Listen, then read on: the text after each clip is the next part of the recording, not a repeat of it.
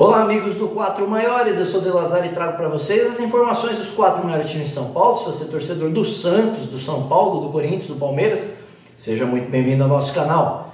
Hoje aí vamos trazer informações para vocês aí do Santos, tá? São muitas informações, então eu fiz um vídeo à parte. Depois trarei informações dos outros três maiores aí, dos quatro maiores, tá bom? Então, Antes de começarmos as informações sobre o Santos aqui, diversas contratações, né? eu peço para você, se você ainda não é inscrito do canal, se inscreva no canal e no fim do vídeo, se você gostar, é claro, deixa aquele like maroto, como diz meu filhão aí, e vamos aí sem delongas para as informações do peixe, tá bom? O Santos. O Santos fez uma série de contratações, mas não apresentou oficialmente ainda, porque ainda está na gestão do Ueda, e as contratações serão apresentadas em janeiro, assim que Marcelo Teixeira é, assumir a presidência do Santos.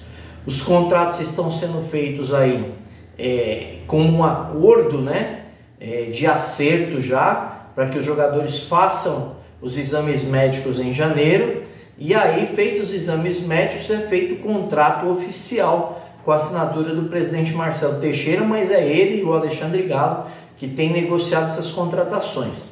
Lembrando que o Santos estipulou um teto de até 350 mil reais é, de teto salarial para os jogadores e o Santos tem feito negócios aí para baixar a folha de 11 milhões para 5 milhões de reais. Então, uma das coisas que ele fez foi emprestar Soteudo, já falei no vídeo anterior. Outra coisa que ele fez agora foi emprestar Lucas Braga. O, o Lucas Braga foi emprestado para o time do Japão, que vai jogar a Série B lá do Japão. E aí mais uma das coisas é a baixa salarial de alguns jogadores que resolveram ficar. Foi o caso do João Paulo, foi o caso do Rincon e agora foi o caso do Júlio Furque. Eles aceitaram diminuir seus vencimentos e vão continuar no Santos ano que vem. João Basso, que ainda não acertou é, a, a renovação com a diminuição de salário, deve ser emprestado. Então, isso aí tudo nós já sabíamos, a exceção do Júlio Furque que veio hoje a notícia. E agora as contratações. Como eu havia aventado aqui antes, trazido em outros vídeos anteriores, o Juliano, que era do Corinthians, está acertado com o Santos. É uma da, essa é uma das contratações, jogador de 33 anos. Outra contratação que foi definida foi a do Aderlan, lateral direito, que vem do Red Bull. Ele também aí vem para ficar um ano, tá? Lembrando, esses jogadores todos que eu estou falando vêm para ficar um ano, com renovação de mais 12 meses, se necessário. Então, Aderlan é mais um deles. Jorge, Jorge vem emprestado do, do Palmeiras, como eu falei ontem. O Palmeiras vai pagar metade dos salários e, o Santos a outra metade. Lateral esquerdo, já foi jogador do Santos. Aí outros jogadores que surgiram hoje, que já, já estão acordados com o Marcelo Teixeira, tá? Um deles é Otero, 31 anos, estava no Alcas, fez quatro gols lá e quatro assistências. O venezuelano Otero teve seu melhor momento em 2017, jogando pelo Atlético Mineiro. Tudo bem? E aí tem um parceiro antigo do Otero que está vindo também, negócio já fechado.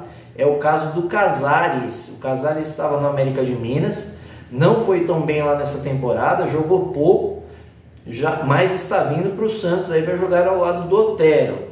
Então, Casares, jogador do Santos também, tá? E aí nós temos aí algumas saídas, como eu disse, uma entrada de dinheiro no Santos aí, que é uma boa informação para o Santos. O Gabriel Pirani estava emprestado ao DC United lá dos Estados Unidos e o DC United já informou o Santos que vai efetuar a compra do jogador por 1,3 milhões de dólares, ou seja, cerca de 6 milhões e meio de reais aí para o Santos. Se você parar para pensar, é uma folhinha salarial que o Santos quer deixar aí do seu time já garantido para o ano que vem. Outra coisa que foi definida além dessas contratações que eu falei, está muito perto de vir, é o zagueiro Gil.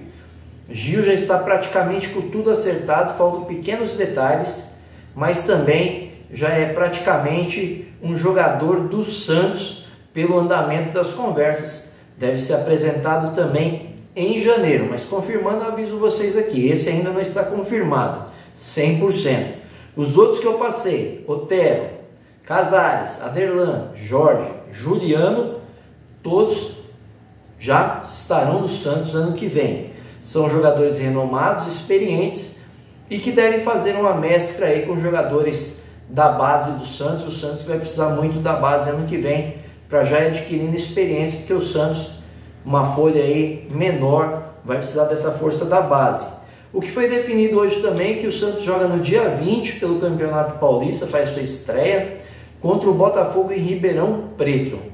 Os jogos do Santos aqui em São Paulo ainda não foram definidos onde serão, se será na Vila Belmiro ou em algum estádio aqui perto da capital. Marcelo Teixeira já disse que quer mais público no jogo do Santos para empurrar o Santos adiante.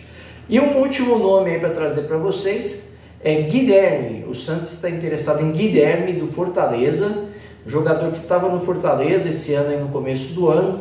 O Santos está em negociações com ele, assim como o Gil, muito próximo de vir para o Santos, o atacante Guilherme.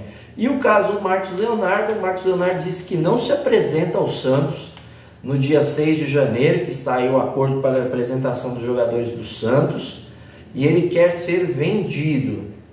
Então ele tem um acordo que se houvesse uma oferta de 18 milhões de euros, queria ir embora, mas até agora não se ouviu falar nessa oferta por Marcos Leonardo e ele já disse que não se apresenta, dificilmente esse jogador continuará no Santos, até porque o seu salário também não é dos mais baratos, tá bom? Então é isso aí, pessoal. Espero que vocês tenham gostado das informações. Se curtirem, é claro, deixa aquele like maroto, como diz meu filhão. Se inscreva no canal e acione o sininho de notificações. Um grande abraço, valeu!